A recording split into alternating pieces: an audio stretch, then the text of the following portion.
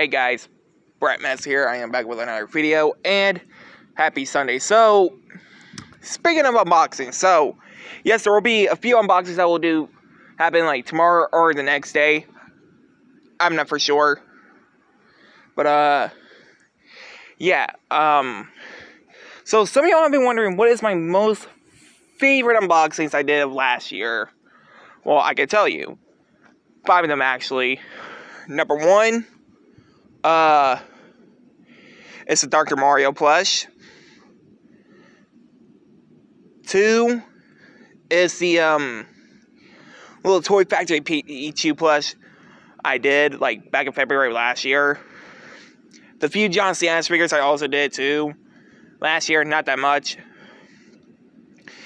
Three WWE 2K22 on the Xbox One. Four, it is gonna be Dead Space because yo know I did an unboxing of Dead Space 2 last week. I bought from eBay and all that. And uh yeah.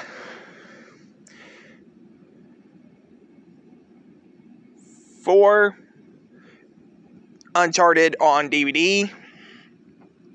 Which I did see it on opening night in theaters and then Three months later, I own it on DVD now. uh,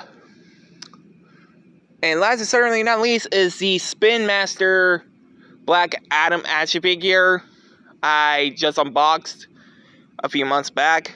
But uh, yeah, guys. So I will do part two of this video on tell you guys what was my favorite unboxing of 2022, and I hope you guys like, comment, subscribe.